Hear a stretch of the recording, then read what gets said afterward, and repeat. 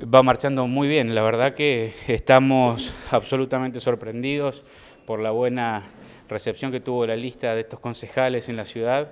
Estamos teniendo muy buenos comentarios, pero por sobre todas las cosas, eh, ver eh, como compromiso peronista hizo una presentación prolija el día de ayer con muchísimas localidades y donde creo que vamos a hacer gobierno en muchas localidades de la provincia pampeana, descontando obviamente que el próximo gobernador va a ser Fabián Bruna y vamos a tener mayoría en la legislatura. ¿no? Algunos dicen que la candidatura de Jorge digamos, a la Intendencia es solo una candidatura de testigo y que en realidad la Intendencia va a pasar por su persona, que tiene la figura de viceintendente. Mira, el que opina eso es porque no conoce a Oscar Mario Jorge. Eh, yo te puedo garantizar que en este momento Jorge está pensando más en la reelección que, este, que en los cuatro años de gestión. Eh, tiene tantas ideas y tantos proyectos y realmente nos juntamos todos los días pensando en qué va a hacer en esta ciudad que creo que no le van a alcanzar los cuatro años. Así que este, quitarles esa preocupación que creo que va por la reelección antes de retirarse.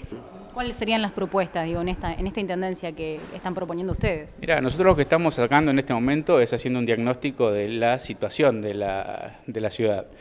Eh, una, es muy difícil con la información que te brinda hoy el municipio poder hacer un diagnóstico certero. De hecho, si nosotros vemos las declaraciones de ayer de, del secretario de Lorriaga sobre la situación financiera del municipio, creo que si le consultan a los concejales, ninguno le va a decir exactamente lo mismo.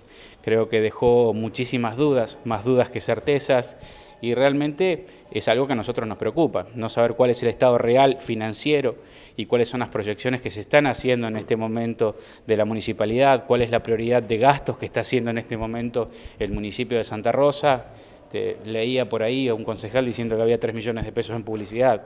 Si esas son las prioridades, me parece, yo entiendo muchachos que es bueno para todos los medios de prensa, pero creo que hay que pensar un poquito este, las prioridades que tiene una ciudad cuando tenés este, derrames cloacales, donde tenés familias sin agua, donde tenés este, calles intransitables, donde tenés tantas cosas para resolver, creo que hay que tener un orden de prioridades. Eh, de todas maneras, hoy estuve en un medio y algún vecino hacía un comunicado y dice, ¿por qué no se le ayuda al municipio?